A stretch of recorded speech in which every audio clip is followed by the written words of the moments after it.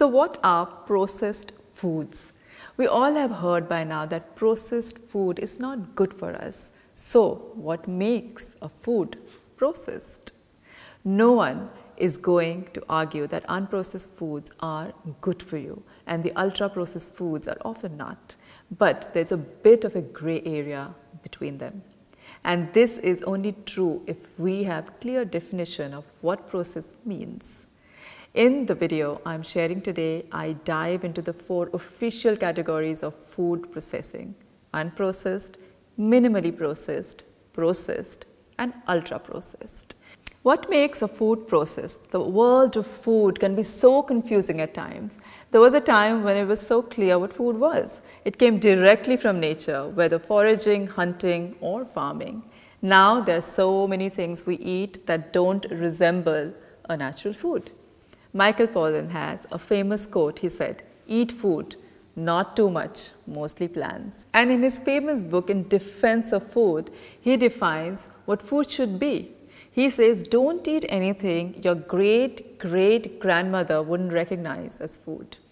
And we can all agree that some things are obviously not recognizable by our great great grandmothers candy bars, fast foods, and sports drinks. We can also say that many of the common health issues we face today, heart disease, diabetes, some cancers, cavities, etc., didn't exist anywhere before industrially processed foods became available. But where do we draw the line? How do we define processed? How processed is processed? And what the heck is ultra processed?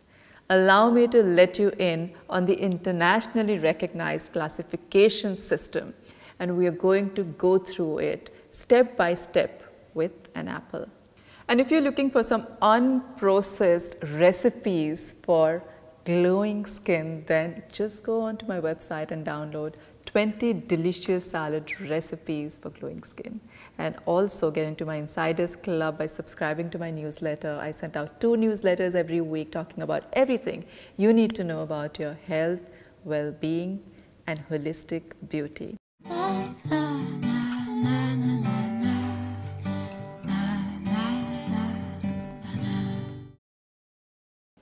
Unprocessed. According to NOVA, the official definition of unprocessed or natural food is the edible parts of plants, seeds, fruits, leaves, stems, roots, or of animals, muscles, eggs, milk, and of fungi, algae, and water after separation from nature. This is like eating a whole apple, right, off the tree clearly unprocessed. Now let's talk about minimally processed foods. So what are these? Natural foods altered by processes such as removal of inedible or unwanted parts, drying, crushing, grinding, fractioning, filtering, roasting, boiling, pasteurization, refrigeration, freezing, placing in containers, vacuum packaging, or non-alcoholic fermentation. None of these processes adds substances such as salt, sugar, oils or fats to the original food. So, with our apple example, once you cut the apple's core out and put the slices into a container to bring with you for your afternoon snack, you are processing it. Yes, that's right. You're processing it minimally. You can even peel and boil that chopped apple to make applesauce. And as long as you don't add anything else like cinnamon, it's still considered minimally processed. Processed. Processed foods, on the other hand, are relatively simple products made by adding sugar, oil, salt, or other processed ingredients to unprocessed foods. Most processed foods have two or three ingredients. Processes include various preservations or cooking methods and in the case of bread and cheese, non-alcoholic fermentation.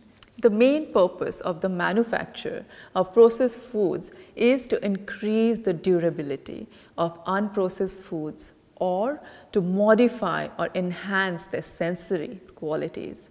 So, if you take that applesauce, add cinnamon and or use it in a recipe, you technically have processed the apple. This can still be a healthy choice as you will see in the next definition of ultra processed. Ultra processed. Here's where things get interesting and scary.